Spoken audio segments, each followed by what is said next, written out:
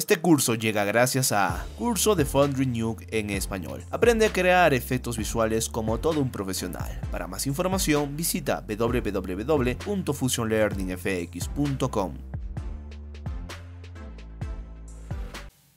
Vamos a conocer ahora lo que son las principales ventanas o si queremos llamarlo en términos técnicos, las principales o los principales gestores que tiene o que compone este software. Premiere es un software bastante sencillo de entender en realidad. Vamos a encontrarnos con gestores muy resumidos y muy importantes. Yo tengo mi interfaz diseñada de esta forma. No sé si las nuevas versiones están diseñadas de esta forma, pero de todos modos te va a valer para que tú puedas eh, aprender lo que hace cada gestor.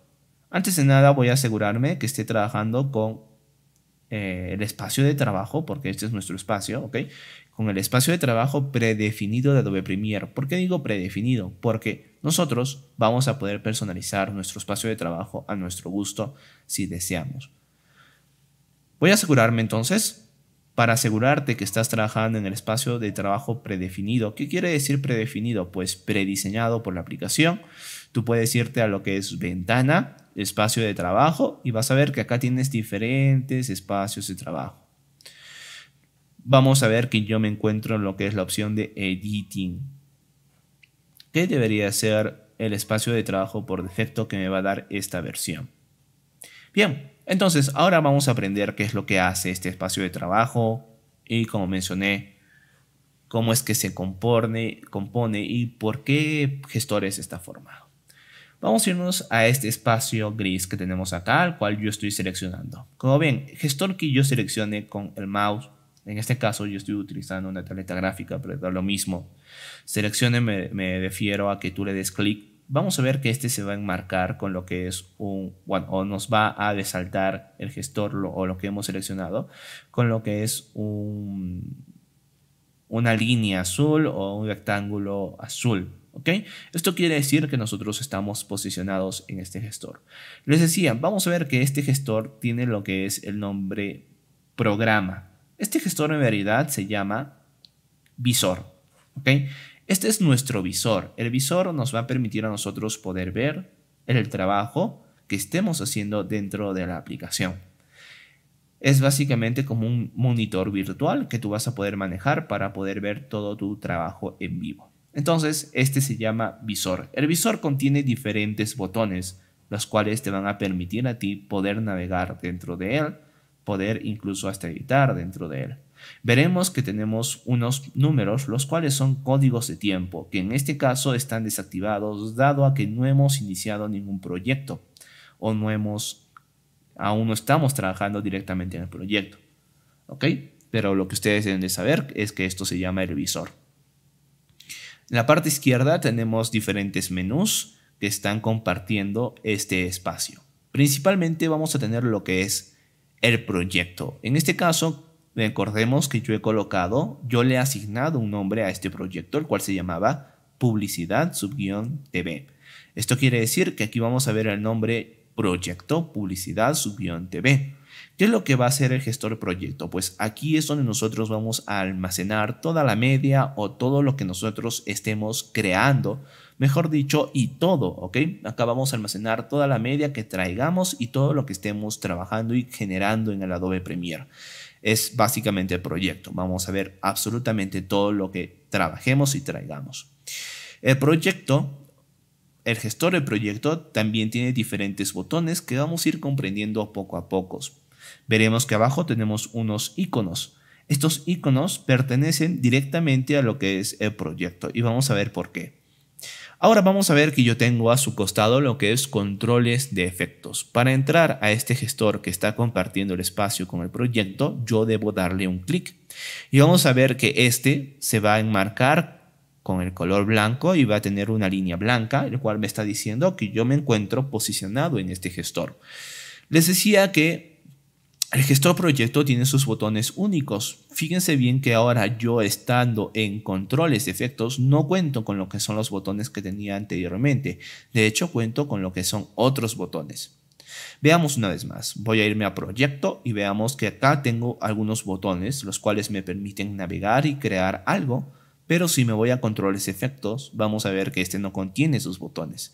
Esto es porque cada gestor contiene diferente... ¿Cómo decirles? Cada gestor te permite hacer algo distinto y contiene diferentes botones. No comparten los botones dado a que no pertenecen a él. Por ejemplo, en controles de proyecto. ¿Qué nos sirve a nosotros en controles de proyecto tener botones de navegación? No nos serviría. ¿Ok? Bien. Vamos a ver ahora que tenemos también otro, el cual es mezclador de tipo de clip de audio. En este caso, si yo me sitúo ahí, vamos a ver que el espacio está vacío, dado a que aún no tenemos audio, no tenemos materiales que podamos trabajar. Pero cabe la pena y vale la pena mencionar que estos gestores que estamos viendo son los más importantes. ¿Ok? Proyecto, controles, efectos, mezclador de audio y metadatos, que va a ser pues una sección donde nosotros vamos a poder ver datos más técnicos de lo que nosotros queramos. En fin, repasemos un poco lo que estamos viendo hasta el momento. Gestor del visor, gestor de proyecto, el cual comparte el gestor de controles de efectos, mezclador del clip y metadatos.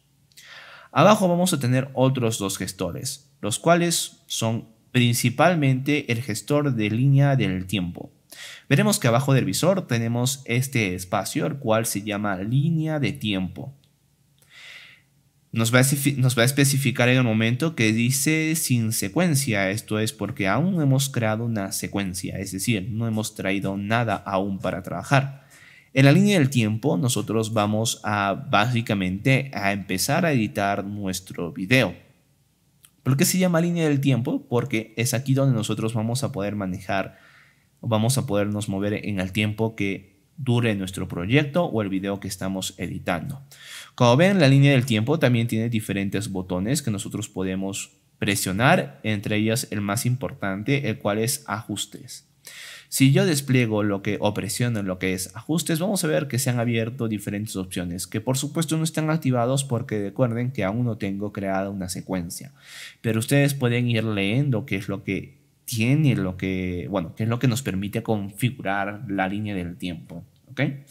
Bien, en la parte derecha vamos a tener otros gestores importantes que son gestores que nos van a permitir a nosotros poder más que almacenar, nos va a permitir trabajar directamente con Premiere. El primer gestor más importante es el navegador de medios. Mediante el navegador de medios nosotros vamos a poder ubicar y traer los archivos que queramos editar en este software. Vamos a ver que tenemos por defecto una lista los cuales contienen o básicamente los cuales son nuestros discos, los discos que tenemos instalados. Yo puedo entrar a cualquiera de esos discos y como ven puedo ver absolutamente todas las carpetas. Es como un, es, es como un escritorio virtual que nosotros vamos a tener acá para poder ubicar nuestra media, ¿ok? ¿Qué son medios? Por acá dice acá navegador de medios, pues se refiere a la media. La media es los materiales que nosotros vamos a traer, ¿ok? Se le llama así, la media. Bien, tenemos también otro gestor, el cual es información. Este gestor nos va a permitir ver la información de la media o el material que estemos seleccionando o, eh, o traigamos a lo que es el Premiere Pro. Luego tenemos un gestor muy importante, el cual es el de efectos. Este gestor a nosotros nos va a permitir navegar en los efectos preestablecidos eh, o en los presets que tiene el Premiere. Todo editor de video tiene efectos ya diseñados para que tú puedas incorporarlos y puedas editar de una manera mucho más fácil. Aquí vas a encontrar los efectos de audio, los efectos de video, las transiciones, entre otras cosas. Tenemos lo que son los marcadores, lo cual nos va a permitir a nosotros poder organizar nuestra media de una mejor forma. Tenemos lo que es el historial, que nos va a permitir a nosotros poder ver todo lo que nosotros hemos hecho. Todos estos gestores son sumamente importantes y es necesario que tú sepas para qué sirven. En esta primera sesión estamos viendo un aspecto general. Yo creo que se está logrando comprender cómo es que se forma Premiere. Después de todos estos gestores que hemos visto, que son muchos, básicamente mi estación de trabajo se compone por cuatro partes principales. El visor, gestor de proyecto, gestor de media y línea del tiempo. Por supuesto que el gestor de proyecto y la gestión o el gestión de media contiene otros gestores, pero tú tienes que conocerlos directamente así, que Premiere se forma por cuatro partes principales.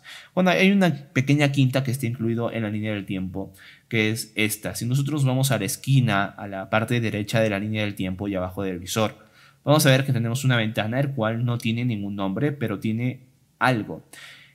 Este gestor básicamente es el gestor de audio que nosotros vamos a tener por defecto. Nos va a permitir ver el audio de producción o el audio que tiene nuestro proyecto o secuencia. ¿Perfecto? Bien, esta es la estación por defecto que tiene Premiere, pero nosotros podemos trabajar en otras estaciones o espacios de trabajo, ¿ok? Si no les gusta llamarle estación, podemos llamarle espacio de trabajo. Si nosotros nos vamos a lo que es ventana, espacio de trabajo, vamos a ver que tenemos muchos menús que podemos utilizar. Recuerden que yo me encuentro en lo que es editing. Vamos a ver que tengo un espacio de trabajo diseñado para el audio. Voy a darle clic ahí y vamos a ver que el Premiere ahora ha modificado su espacio de trabajo para trabajar específicamente audio. Pero aún así va a compartir ciertos gestores que nosotros hemos visto previamente. Así que vamos a pasar, por ejemplo, lo que es este, este espacio de trabajo diseñado para el audio.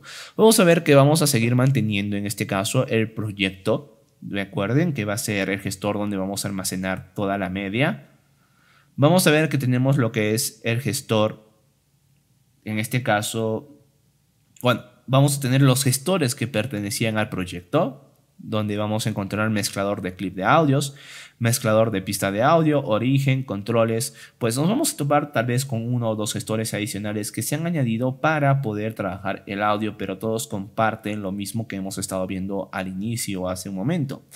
Tenemos lo que es el programa, tenemos lo que es en este caso la línea del tiempo y tenemos acá lo que son otros botones los cuales, nos, los cuales nos van a permitir a nosotros poder agregar algo más a lo que estamos viendo aquí. Lo, lo ideal es que ustedes vean que los espacios de trabajo van a ir cambiando de acuerdo a lo que tú coloques, pero van a compartir la misma información, no van a cambiar en cuanto a su funcionamiento. ¿Ok? Vamos a ver otro, por ejemplo, espacio de trabajo, bibliotecas. Como ven, ahora se me ha creado un nuevo espacio, o se me ha cambiado más que crear un nuevo espacio, el cual está diseñado para ver la media que nosotros vamos a tener y para ver los archivos que nosotros hemos traído. Siempre ustedes tienen que ver esto, los gestores siguen siendo casi los mismos. Por ejemplo, acá lo que se ha añadido es el gestor de bibliotecas, que es básicamente el gestor que tú vas a tener cuando tienes Creative Cloud conectado. ¿Ok? Otro gestor, ventana, espacio de trabajo, color. Este va a ser un espacio de trabajo dedicado para el color, con algunos gestores añadidos o sacados. Todos son, comparten las mismas ventanas, ¿ok? Así que no se preocupen. Voy a irme ahora nuevamente a espacio de trabajo, voy a irme a editing y vamos a ver que acá tengo el espacio de trabajo que hemos estado viendo previamente. Este espacio de trabajo se puede guardar y se puede modificar por supuesto que sí, el Adobe Premiere Pro es un software el cual es muy liberal. No nos va a establecer un espacio de trabajo único, que en este caso es este, por ejemplo, sino que nosotros vamos a poder armar un espacio de trabajo a nuestro gusto y a nuestras necesidades. Y esto hace que Adobe Premiere Pro sea un software favorito para todos, ya que es muy, muy personalizable. Vamos a irnos a ventana, espacio de trabajo, y en este caso, voy a irme a lo que es editar espacios de trabajo. Yo puedo entrar a, este, a esta opción y trasladarme a cualquier espacio de trabajo y hacerle lo que es una modificación. Ustedes lo pueden hacer. Yo personalmente no me gusta tocar ya que considero que Adobe Premiere Pro con todos sus espacios diseñados son espacios ya estables y que ciertamente funcionan muy pero que muy bien pero ustedes tranquilamente podrían editarlos. ¿Cómo se editan? Pues muy sencillo en realidad. Fíjense bien que en este caso cada gestor es manejable independientemente. ¿Ok? Por ejemplo, si yo me voy a lo que es el gestor de visor y selecciono presionando, vamos a ver que este me va a permitir mover este gestor. ¿Cómo así? Pues fíjense bien. ¿ok? Supongamos que este gestor yo lo quiero llevar abajo de la línea del tiempo. Yo quiero ver el visor abajo de la línea del tiempo. ¿Cómo hago? Pues selecciono el gestor y ahora lo voy a arrastrar hacia abajo de la línea del tiempo. Lo puedo llevar justamente aquí. Fíjese bien que yo llevando este gestor acá presionando, vamos a ver que el Adobe Premiere Pro automáticamente me va a sombrear el espacio donde yo quiero colocar este gestor. Ahora, con yo darle un clic, vamos a ver que el gestor se ha trasladado automáticamente ahí. Esto funciona con todo lo que nosotros hemos visto en el momento, con todos los gestores independientemente, se pueden mover y se pueden colocar donde tú quieras. Muy simple. Otra vez, voy a dejarlo como estaba. Voy a seleccionar el gestor y el visor y lo voy a llevar aquí al costado del proyecto. Como ven, ahora se me ha colocado acá. Y es así básicamente como ustedes pueden personalizar su espacio de trabajo. Cabe decirles que una vez que ustedes han modificado un espacio de trabajo, es necesario que entren a lo que es ventana, espacio de trabajo, y le den en guardar los cambios de este espacio de trabajo o guardar como un nuevo espacio de trabajo.